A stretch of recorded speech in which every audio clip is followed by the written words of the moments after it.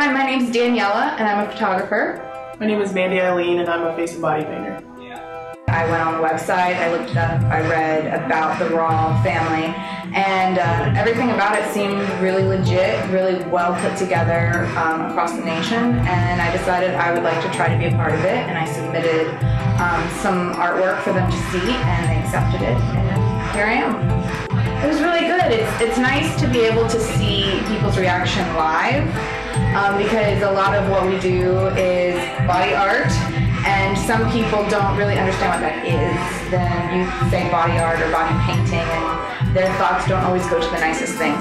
So it was nice to showcase body art in a very nice and tasteful and respectful manner, um, which is what I want to do is bring that to the foreground. I'm drawn to it because it's a less explored area. Um, with photography, that's how I got involved with the body painters. Is they would hire me out to photograph their final pieces of work, um, and which that then brought me to the entire body painting world, where I, I started painting. She teaches me. They corrupted it. Yeah, they corrupted me. Um, so now I do both. I, uh, I help paint and I take the pictures. Um, how did you get into body painting? We started doing little girls' makeover parties, and um, the first time I went to a convention for face painting, and I saw um, body painting, and it just was a natural progression, and so much more of an area to cover, as opposed to just the face, with, you know, no limits whatsoever as far as what you could possibly put on the body, and make it amazing, and even more so than, you know, a body already is.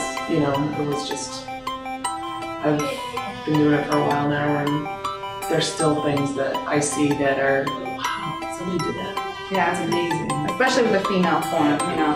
You can photograph a female all day long and have a million different angles. So when you pair that with the paint on a female, And you're using that shadow and depth that you're building on the body. It's different than what it normally looks like. So it's a body, but then it's not. And then when you take a picture of it and frame it, then the people are like, is there,